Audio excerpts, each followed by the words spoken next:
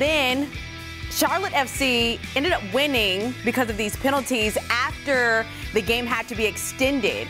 Listen, they were not set to win this game, but they did. Five to three, folks. And guess how many people were cheering on them, yelling for them, supporting them? Over 50,000 fans in the stands at Bank of America Stadium. Lots of people trending or talking on social media about this. One person saying a friendly in the history books. Yes, this team is our fans. Nice work, Charlotte FC. So many comments when it comes to the atmosphere, the experience. What did you think about it? You can talk to us. Hashtag WakeUpCLT. Ben, Sarah, Larry, Brittany. It was crazy just looking at all the pictures and just mm. seeing on social media just the vibe. It was like I should have been there. I mean, 50,000. 50,000 people Crazy. in Uptown wow. on a Wednesday night. Make no mistake about it. Charlotte, Charlotte, Charlotte, is a soccer city. And, and fighting wow. through the storms, right? Yeah, totally. so many odds. Wow.